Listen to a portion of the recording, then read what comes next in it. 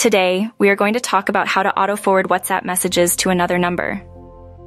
This feature can be really useful if you want to keep a backup of your messages, or if you want someone else to receive your messages.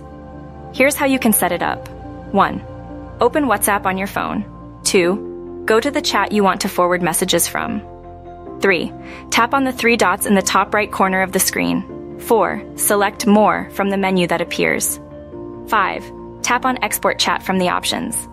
6. Choose whether you want to include media files or not. 7. Select the app you want to use to share the chat. 8. Choose the contact you want to forward the messages to. 9. Tap on the Send button. 10. The chat will be forwarded to the selected contact. 11. If you want to automatically forward all incoming messages to another number, you can use a third-party app like Auto Forward. 12. Download and install the app from the Google Play Store. 13. Open the app and grant the necessary permissions. 14. Enter the number you want to forward the messages to. 15. Set up any additional settings, such as filtering messages or setting up a schedule. 16. Save your settings. 17. The app will now automatically forward all incoming messages to the specified number. 18.